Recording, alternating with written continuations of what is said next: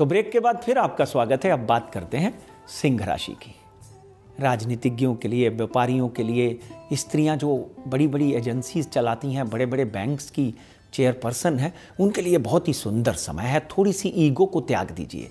2015 में कहीं भी अगर कोई छोटी मोटी वाद विवाद डिफरेंस ऑफ़ ओपिनियन हुए हैं, उनको त्याग कर अगले साल को हँसी से गले लगाइए। क्योंकि आप इतनी बड़ी पोस्ट पे हैं। अभिमान त्याग कर आगे बढ़ना है।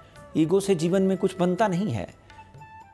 तो कुल मिलाकर सिंह राशि वालों के लिए भी आज का दिन सत्तर प्रतिशत उत्तम तबरा मैरून कलर का इस्तेमाल, लाल। मैरून कलर का इस्तेमाल और भाग्य अंक के साथ अगली राशि कन्या राशि। आपकी राशि में चंद्रमा विराजमान हो गए हैं। तो ध्यान रखें, अगर आपको कोई किसी तरह का बीमारी है, डायबिटीज़ है, ब्लड प्रेशर है तो दवाई समय पर लें। मगर शिक्षार्थियों के लिए, विद्यार्थियों के लिए, किताबें लिखने वालों के लिए, गाने लिखने वालों के लिए, लिरिकिस्ट के लिए, लेखकों के लिए बहुत ही बढ़िया दिन और अगला साल भी आपके लिए उत्तम माना जाएगा। कुल मिलाकर 60 से 70 प्रतिशत उत्तमता भरा दिन। हरे रंग का उपयोग करें और भाग्य अंक है चार। तो आइए आगे बढ़ते हैं, बात करते हैं तुला राशि की। धनस्थान पर शुक्र और शनि बैठे हुए हैं। एक्टर्स के लिए व्यापारियों के लिए। चमकती हुई चीज़ें जैसे सोना है, चांदी है, हीरा है, तेल है, ऐसे व्यापारियों के लिए बहुत ही सुंदर समय बना हुआ है। मगर ये कतई मत भूलें कि आपकी कुंडली में साढ़े सती है।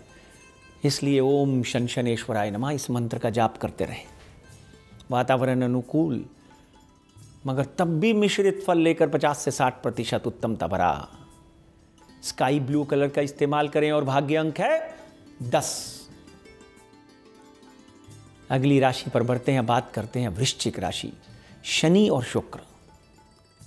देखिए, शनि जो है, आशीर्वाद देता है, मंगल की राशि में दिमाग को खराब भी करता है, इसलिए क्रोध पे नियंत्रण रखें, वाणी पे नियंत्रण रखें, सकारात्मकता रखें, लंबी सांस लें, लंबी सांस छोड़ें, और किसी से झगड़ा मत करें, चिड़चिड़ मत करें, ये चिड़चिड़ाता है, और शुक्र वहाँ पे बैठा हुआ शनि के साथ भाग्य में उन्नति दिलाता है।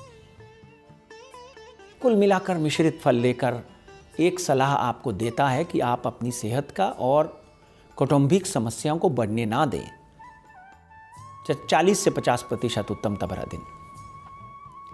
ब्राउन, भूरे रंग का इस्तेमाल करें, साईं की आराधना करें।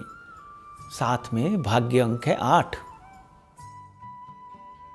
तो अब फिर एक छोटे से समय का ब्रेक लेना चाहता हूँ आपके माध्यम से, आपकी इजाज़त से। आप देखते रहिए राज ज्योतिष।